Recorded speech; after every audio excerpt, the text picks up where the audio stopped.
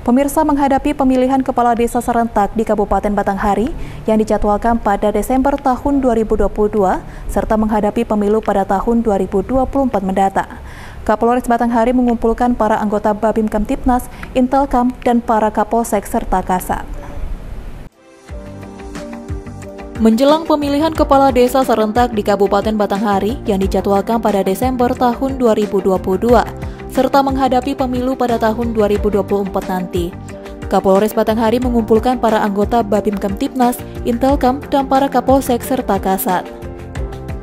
Kapolres Batanghari AKBP Bambang Purwanto saat dikonfirmasi mengatakan bahwa berkenaan dengan Pilkades dan pemilu tahun 2024, pihak kepolisian masih dalam tahap mapping.